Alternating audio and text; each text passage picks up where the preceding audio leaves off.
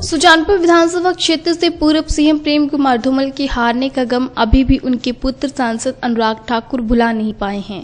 और यही कारण है कि जहाँ कहीं भी मौका मिलता है तो कार्यकर्ता और लोगों के सामने हार को लेकर खरी खोटी सुनाने से परहेज नहीं करते हैं। हमीरपुर दौरे पर पहुँचे सांसद अनुराग ठाकुर अपने संबोधन में कहते हुए नज़र आए कि अपने निचले हिमाचल के नेता को खोना क्या होता है इसका पता शायद लोगों को अब लग चुका होगा। साथ ही उन्होंने कहा कि नेता एक दिन में नहीं बनता, लेकिन लोगों की एक गलती से, एक झटके से ही वह नेता खो देते हैं। अगर इतना नहीं कर सकते कि मेरी उपलब्धियों की चार पोस्ट डालते हैं तो कम से कम वैसी खुराफात तो करनी बंद कर दें।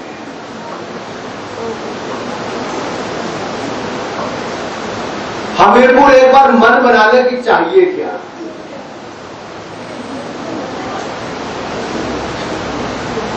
हमने धूमल जी के कद का नेता खोया। है जिसको आपने प्रदेश का मुख्यमंत्री दो बार बनने का अवसर दिया। नेतृत्व खोना क्या होता है? अपने ज़िले के नेता को खोना क्या होता है? अपने निचले हिमाचल के नेता को खोने का नुकसान क्या होता है? शायद आपने देखा हो हम कितना खोने के लिए तैयार हैं? तय आपने करना। नेता एक दिन में नहीं बनते। नेता बनाने के लिए जनता भी पूरी ताकत लगाती है, कार्यकर्ता भी लगाता है, स्वयं नेता भी लगाता है। जब तक नेता भी स्वयं ज़ोर न लगाए, वो भी नेता नहीं बन सकता। और हर कोई नेता नहीं बन सकता।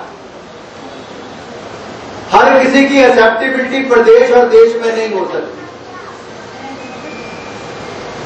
कौन हो सकता है, किस कद का हो सकता है आपको तय करना कौन वापस हमारी वो प्रतिष्ठा वापस ला सकता है, वो सम्मान वापस ला सकता है।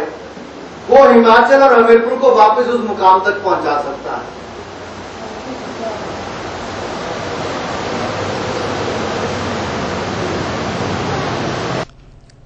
हमीरपुर में एक कार्यक्रम के दौरान सांसद अनुराग ठाकुर ने इशारों में कह दिया कि आगे भी लोकसभा के चुनाव सिर पर हैं और जनता कितना खोना चाहती है ये जनता को तय करना है। उन्होंने कार्यकर्ताओं से कहा कि हर कोई नेता नहीं बन सकता, लेकिन जनता इस बात को नहीं समझती है। झूठे प्रचार को लेकर अनुराग ने कहा कि अपनों को किनारे पर रखकर दूसरों का प्रचार करेंगे तो इससे बीजेपी पार्टी का ही नुकसान होगा। उन्होंने कहा कि अगर 2019 में फिर से भाजपा को सत्तासीन करना है तो और मोदी को प्रधानमंत्री बनाना है तो बीजेपी कार्यकर्ताओं को एकजुटता का परिचय देना होगा और संकल्प लेना होगा कि लोकसभा चुनावों में 300 से ज़्यादा सीटें जीतेंगे। मोदियों को साइड पे रख के तीसरे की बात करेंगे तो उससे नुकसान पार्टी का जिन मोदी जी को हम वापिस देश के प्रधानमंत्री के रूप में देखना चाहते हैं, आज बाकी राजनीतिक दल पक्ष में आकर उनको एक बार फिर प्रधानमंत्री बनाना चाहते हैं।